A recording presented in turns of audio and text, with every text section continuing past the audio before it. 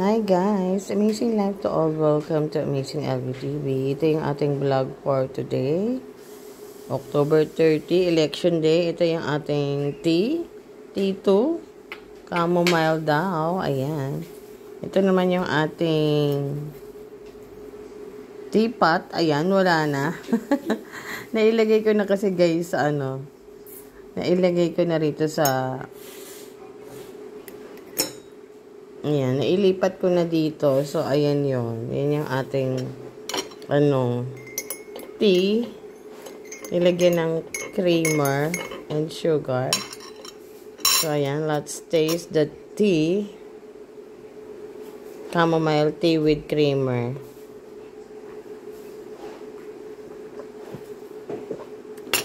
Ayan. Kanina plain lang. Plain lang siya here.